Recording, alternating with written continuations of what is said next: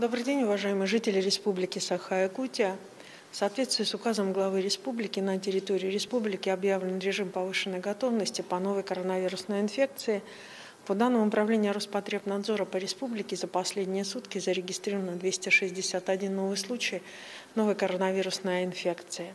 При этом 138 случаев приходится на столицу нашей республики, город Якутск. Необходимо обратить внимание, что остается достаточно сложная обстановка в Мегино-Кангаласском улусе, на необходимость соблюдения мер а, безопасности а, значит, было обращено внимание в Мегино-Кангаласском улусе, в том числе главой республики, сегодня во время совещания с главами муниципальных образований.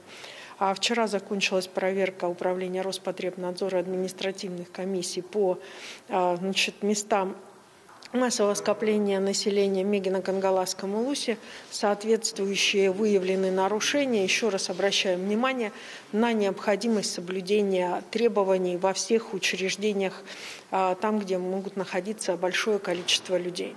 Также обращаемся и гражданам о необходимости соблюдения масочного режима. Продолжает оставаться напряженная ситуация в Намском Улусе, где зарегистрировано вновь 11 новых случаев. При этом непосредственно в Намском Улусе растет и количество граждан, как умерших, так и находящихся в тяжелом положении. Поэтому еще раз обращаем внимание на а, низкий уровень вакцинации в Намском Улусе, что не позволяет нам, соответственно, медицинским работникам значит, осуществлять лечение. А, более эффективно. 10 случаев зарегистрировано в Алданском Улусе, по 8 случаев в Амгинском и Усть-Алданском, по 7 случаев в Хангаласском Улусе. От 1 до 6 случаев зарегистрировано в 18 районах республики. Наиболее сложной а, санитарно-эпидемиологической ситуацией является ситуация в Чурапчинском, Нюрбинском, Татинском, Горном и Верхневилюйских районах. Уважаемые жители Республики Саха-Якутия, вчера был опубликован указ, а, значит, подписан указ главы Республики Саха-Якутия, по которому на территории республики вводятся QR-коды при входе, при посещении значит, непосредственно а, ряда учреждений.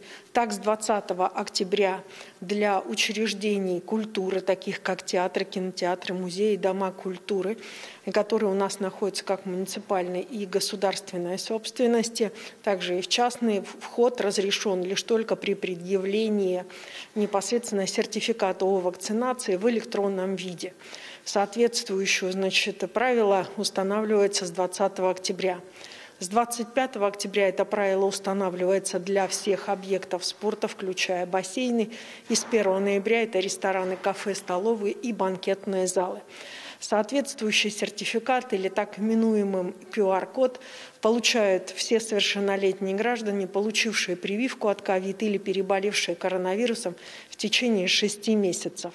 Необходимо обратить внимание на сохранение посещения органов государственной власти, органов местного самоуправления только при наличии QR-кодов и, соответственно, значит, а, сертификации а, сертификата как переболевшие, либо же непосредственно имеющие вакцинацию. Указом главы республики также непосредственно определяется, что те граждане, которые вакцинировали 6 месяцев назад, либо переболели, должны пройти ревакцинацию. Соответствующую персональную ответственность а, непосредственно членов правительства Республики Саха-Якутия за усиление а, значит, направлений по вакцинации и ревакцинации глава республики возложил своим решением. Необходимо обратить внимание, что подобного рода меры, они были связаны с тем, что увеличилось количество больных в тяжелом состоянии. Сегодня у нас 186 пациентов, в том числе на ИВЛ 34. А, из 186 пациентов в тяжелом состоянии все не вакцинированные. Сегодня получили у нас первую вакцину 50%, около 50% от общего населения республики. Это 364 836 человек. Особое внимание к лицам старшего возраста. Из них только 48,9% от общего количества лиц старшего возраста в республике получили вакцину. Ревакцинацию в республике прошло 17 085 человек.